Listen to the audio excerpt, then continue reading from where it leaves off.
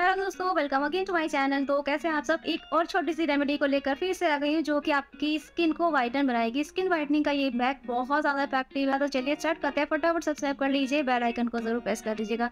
छोटी छोटी सी रेमेडीज को आगे भी देखने के लिए। अच्छा जी तो इस पैक को बनाने के लिए सबसे पहले हमें लेना है ये। ये है मैदा।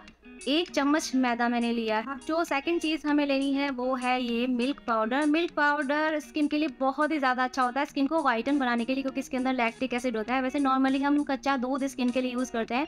उसका जो रिज़ल्ट आता है, इसका रिज़ल्ट बहुत ज़्यादा, कई गुना ज़्यादा उससे बेटर आता है मिल्क पाउडर का। इसलिए फेस पैक बनाने के लिए आप इस तरह से मंगा कर रखें। बड़ा पैक नहीं मंगा सकते, छोटा दस रुपये का पैक भी आता है। चार से पाँच बार फेस पैक उससे आपका बन जाएगा तो आप वो भी यूज़ कर सकते हो। एक चम्मच मैदा और एक चम्मच ही हम मिल्क पाउडर ले लेंगे।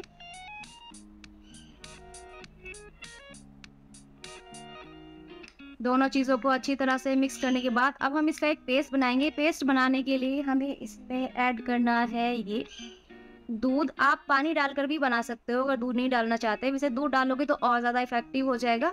तो अब हम इसमें थोड़ा थोड़ा दूध डाल देंगे और इसका एक थोड़ा रनी सा पेस्ट बनाएँगे, ज़्यादा थिक पेस्ट नहीं बनाना मतलब पतला सा पेस्ट इसका एक हम बना लेंगे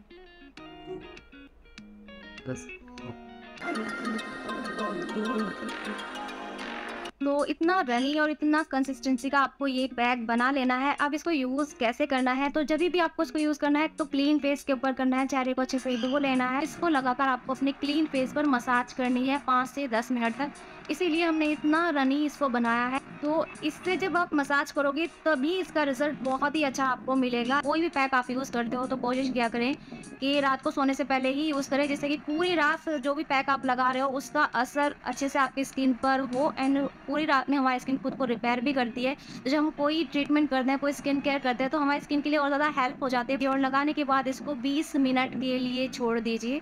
20 मिनट के बाद नॉर्मल पानी से आपको इसको वॉश कर देना है। नॉर्मल पानी से साबुन यूज़ नहीं करना, कोई भी फेस वॉश यूज़ करते हो तो कम से कम आपको चार से पाँच घंटे तक साबुन यूज़ करना नहीं होता। तो इसलिए नॉर्मल पानी से वॉश कीजिएगा। इसका रिज़ल्ट वन टाइम यूज़ नहीं है, आप देख लेंगे, बहुत ही ज़्यादा इफ़ेक्टिव आता है। क्योंकि मिर्च पाउडर एंड मैदा दोनों ही स्किन को वाइटन बना देते हैं और क्लीन करते हैं गहराई से, साथ ही उसको नरिश भी बनाता है। स्किन पर एक शाइन भी आ जाएगी आपके इसके। तो प्लीज़ ट्राई कीजिएगा, दूध ऐड किया है तो क्लीनजिंग की प्रॉपर्टी तो है ही इसके अंदर।